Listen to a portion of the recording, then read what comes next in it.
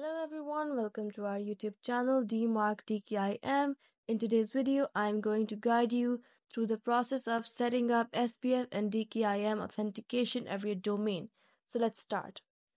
So first of all, you have to open your MailJet account and Cloudflare account into different tabs so you can easily copy values from MailJet and paste these values and add new records in Cloudflare. So on your MailJet home screen, you can see an option Quick Setup at the bottom of your screen. You just click it and select Domain Authentication. Now you have to add your domain. As you can see, Add Domain. Click on it and write down your domain name and your website name and add. Your domain has successfully been added. So now we copy these values and create records in Cloudflare. So you go to your website, click on your website.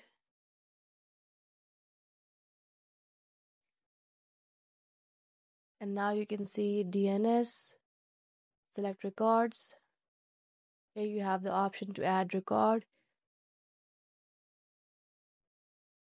Now we copy and paste these host and value text over here.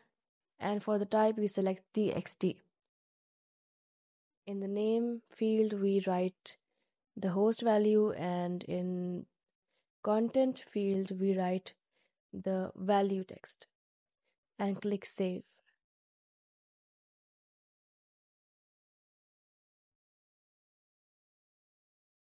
Once you have added this record go back to mailjet and click on validate my domain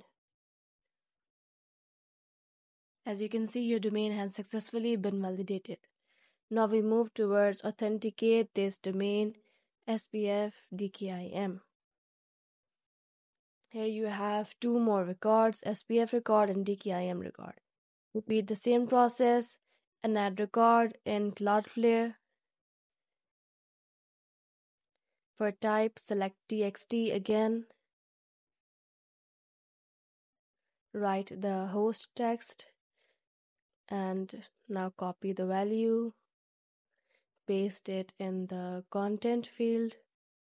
So how do you know which type you have to select? Like we selected txt so it is written here that you have to copy this in txt so we select the type txt sometimes it's cname but for for this record it's txt now we are saving it now we move to DKIM record and add a new record in Cloudflare just like we did before. txt host and now paste this and click save.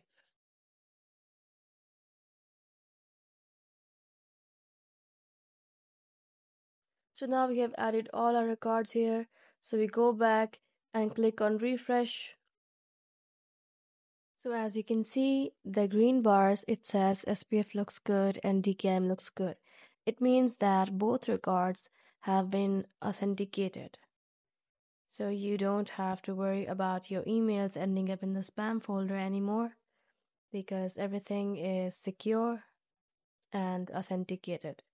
You can also check the status of your domain and SPF and DKIM authentication over here. In this domain and sender address, you can see your domain status. It says active, and in SPF DKIM authentication, you can see its status is OK, which means these both records are authenticated. And yeah, that's it for today. I hope the video was helpful, and if you liked it, please give it a thumbs up and don't forget to subscribe. We'll see you in the next video. Till then, take care. Have a good day.